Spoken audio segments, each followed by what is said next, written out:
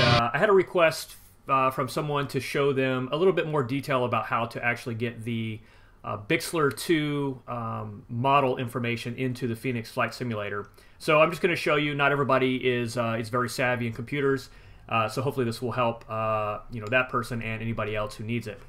So um, I have my CPO's officially unofficial Bixler 2 build log in RC groups. Um, and so the reason I'm starting there is because I've basically provided uh, access to the uh, to the zip file um, that I found. It was posted on Hobby King. So rather than trying to tell you how to go find that, um, I basically just posted a direct link to it. Now I didn't create this file.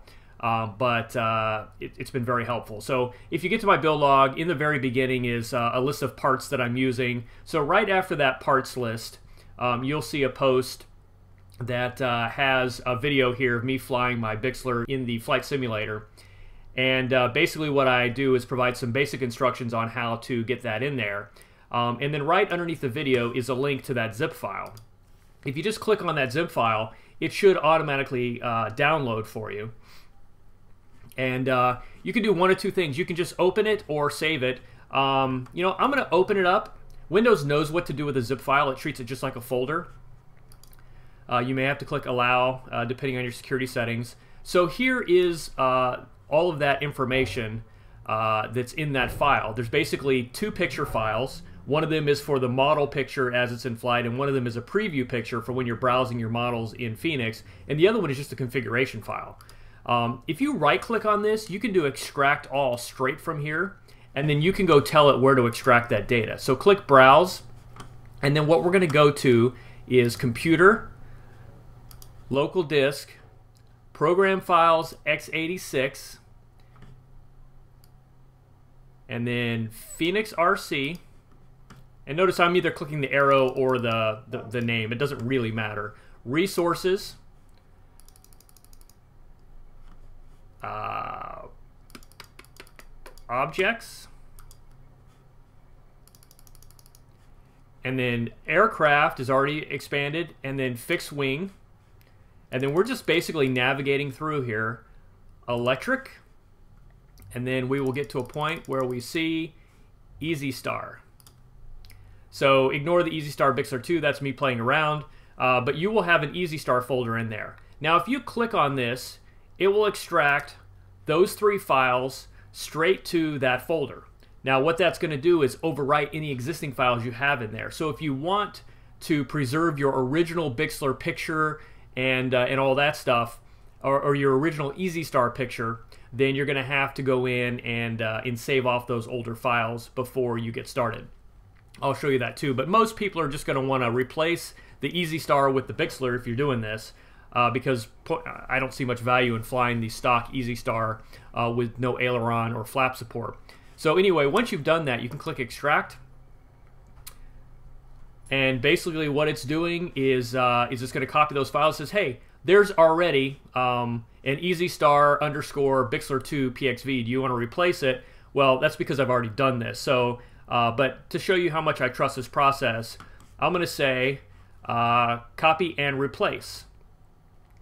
Now, the EasyStar Preview.bmp, again, um, this is going to replace the stock preview.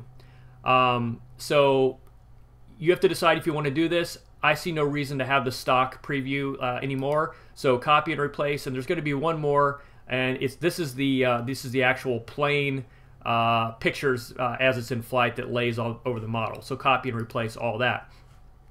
So basically, um, and you're going to need administrator uh, permissions because you're in uh, program files. But once I've copied all that stuff through, uh, that's pretty much it. Uh, the model is now available to me. Um, and you can see all of these, uh, the Bixler 2, the Easy Star Preview, and the Easy Star BMP um, have been copied over. And then this is the folder structure where uh, all that is. So that's the quick and easy way to do it. If you did want to protect your uh, your original files for some reason, you can manually navigate there and uh, and just um, you know change them the file extension to .old or something like that so that you uh, have them. Uh, the easy way to do that would be you could come down here uh, and then right click uh, and then open up Windows Explorer Uh, and basically starting from wherever your default location is, go to local disk C, go to program files x86, go to Phoenix RC, go to resources, go to objects, go to aircraft,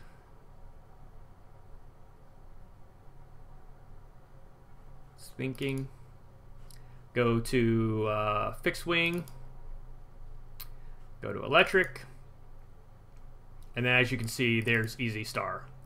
Um, so if I were to wanted to protect, say this was my original Easy Star BMP and Easy Star preview that I wanted to save, uh, you won't overwrite the the original uh, like the brushless and the standard uh, Easy Star configuration data.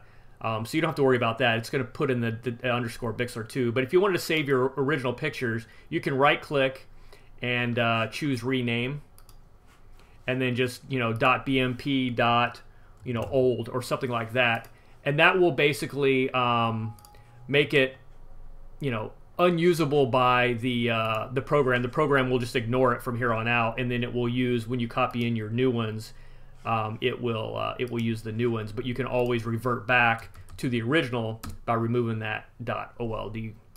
So uh, at any rate, um, you know that's basically it. I would say most people that are going to want to fly the Bixler 2 instead of the Easy Star are just going to want to do what I did originally, which is just extract it straight into that folder, and then you'll be good to go. And then when you open up, uh, you know, the Phoenix Sim, you should see uh, those uh, models. All right, so uh, Hope that helps you. Thanks for watching, and I'll catch you on the next one.